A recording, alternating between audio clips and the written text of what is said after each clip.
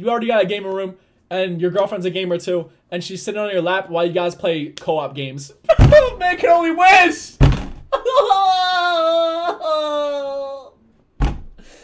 a man can only fucking wish. I'm sad as fuck now. Why did they do this to me, bro?